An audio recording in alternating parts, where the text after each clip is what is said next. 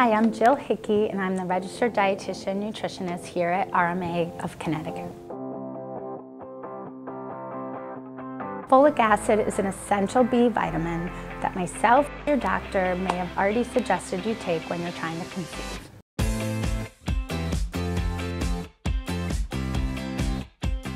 Folic acid is a crucial nutrient you need to take when you're trying to conceive.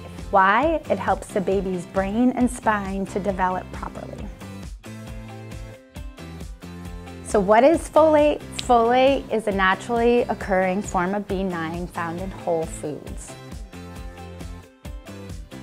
Ever heard of methylfolate? It's a more highly absorbable and bioavailable form of B9.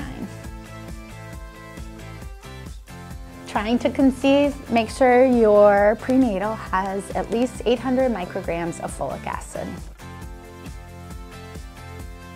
Foods rich in folate include lentils, split peas, beans, leafy greens, asparagus, oranges, and nuts.